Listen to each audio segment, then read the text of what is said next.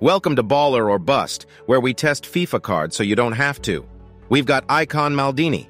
You can acquire him via SBC for 1.2 million coins. If you need FC24 coins, check U7BUY, code ZADE for 6% off.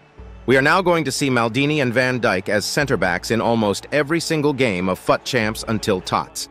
Anchor Chem style to make him mostly lengthy and a general boost. The lengthy is so important defensively, so his speed is great.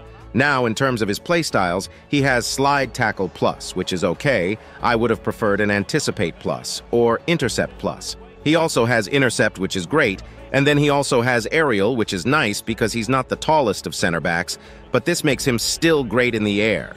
He's got 94 Composure, which we love. The Anchor Chem style almost maxes out all of his defensive stats. His AI positioning is really good, He's got great defensive animations, super strong on tackles, rarely makes a mistake defensively from an AI or tackling standpoint. Physicality needed that boost as it was fairly low.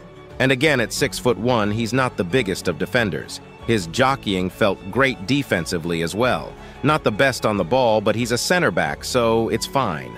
Overall, I mean, it's a really good card. I wish the playstyles were a bit better, but that's really my only complaint here.